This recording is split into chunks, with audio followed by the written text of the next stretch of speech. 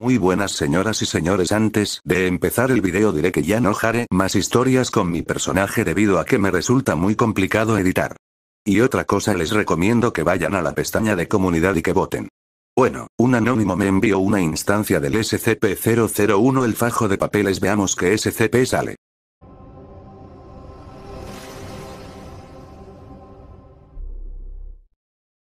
Objeto. SCP-1025 Clasificación del objeto. Seguro procedimientos especiales de contención. Debido a su potencial como arma biológica capaz de destruir toda la vida de la Tierra, SCP-1025 debe estar mantenido en una bóveda subterránea aislada, asegurada por no menos de 10, 10, guardias armados, los cuales deben ser alternados semanalmente y controlados para comprometer agentes infecciosos. La bóveda debe estar equipada con un explosivo de termita que detone a la primera señal de brecha en la contención. Revisión. SCP-1025 debe ser mantenido en un casillero protegido con contraseña. Investigación adicional requiere la aprobación de lo 5. Descripción. SCP-1025 es un libro de tapa dura, de aproximadamente 1,500 páginas. La cubierta y el bloque incluye el título de Enciclopedia of Common Diseases es la enciclopedia de enfermedades comunes. La página del editor indicada en el libro fue impresa en 19 por imprenta. Ninguna otra copia de un libro con este título y editor ha sido encontrada, y no existe ningún registro del editor. Los lectores del libro parecen exhibir los síntomas de cualquier enfermedad sobre la que se documenten. Este efecto puede tomar entre horas en manifestarse. Véase informe de pruebas. Nexo 1025-01. Informe de pruebas sujeto. D. 1025-01. Prueba. El sujeto leyó la entrada titulada resfriado común. Sujeto observado durante varias horas. Resultados. El sujeto comenzó a toser dentro de dos horas, y cuando se le preguntó, afirmó sentirse un poco dolorido, aunque lo atribuyó a formas de dormir incómodas. Sujeto. D. 1025-02. Prueba. El sujeto leyó la entrada titulada varicela. Sujeto observado durante varias horas. Resultados. Luego de una hora, se observó al sujeto rascarse no menos de cinco puntos en su cuerpo repetidamente. Los registros históricos del sujeto indicaron que había contraído viruela a la edad de 8 años. Observada posible evidencia de que el objeto puede anular las inmunidades naturales. Sujeto. D. 1025-03. Prueba. El sujeto leyó la entrada titulada cáncer pulmonar. Sujeto observado durante varias horas.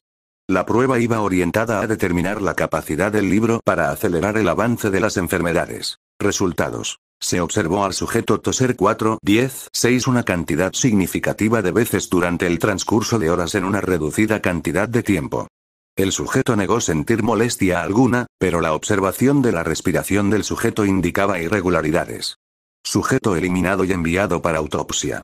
No hay tumores aparentes. Nota. Claramente no esperamos lo suficiente. Pero todos oímos la tos y su respiración sibilante. Sujeto. D. 1025-04. Prueba. Prueba anterior repetida, pero con el sujeto observado durante siete días. Resultados. Una gran cantidad de tos y jadeo, más allá de lo considerado normal. Sujeto eliminado y enviado para autopsia. No hay tumores aparentes. Note. ¿Qué pasa si la enfermedad desaparece después de la muerte, haciendo a la infección aún más insidiosa? Sujeto. D. 1025-05 prueba. La misma que la anterior. Resultados. Igual que los anteriores, solo que el sujeto fue enviado para ser viviseccionado, utilizando datos expurgados horas antes de expirar debido a un shock. No hay tumores aparentes. Nota. Tenemos que seguir intentándolo. Imagina si este fuera un agente infeccioso. Imagina si hubieran más libros como este allí fuera. Pruebas redundantes censuradas por brevedad.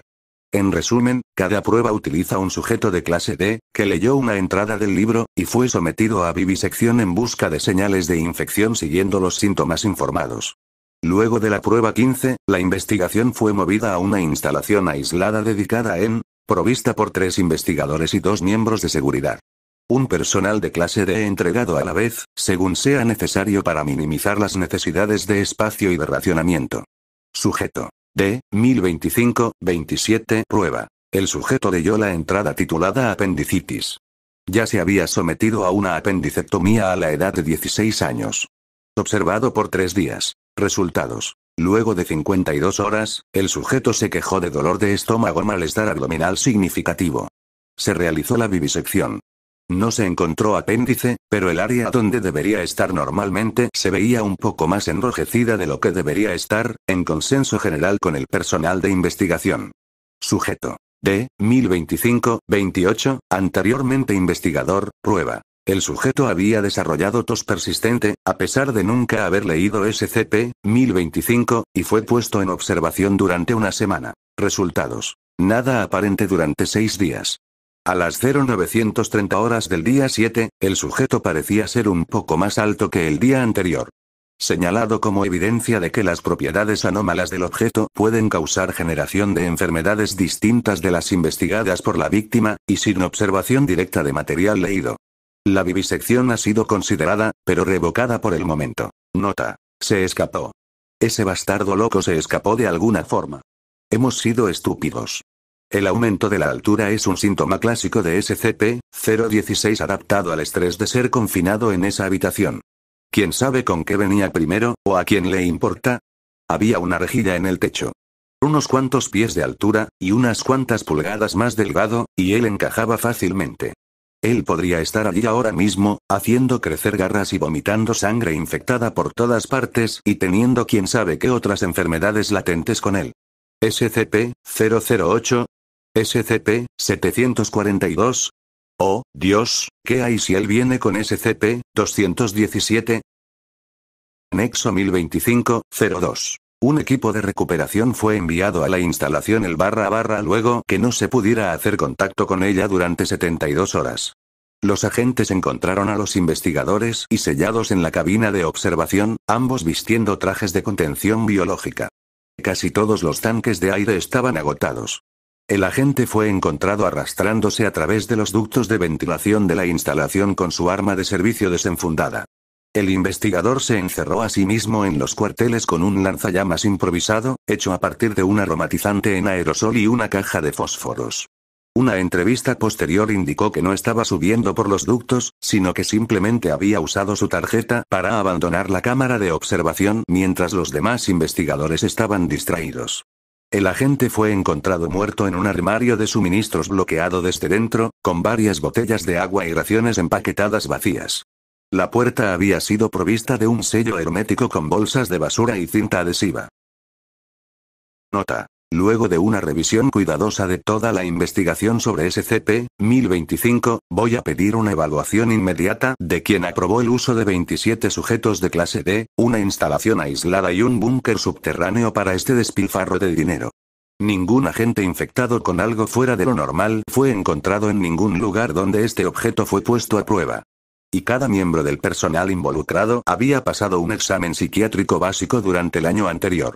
No tengo ni idea de lo lejos en la cadena de mando que este efecto de hipocondría por poder puede alcanzar, o cómo funciona, y, francamente, no veo ningún beneficio en saberlo. Métanlo en una caja, bloqueenlo, y por el amor de Dios, traten de no preocuparse por ello. O 5.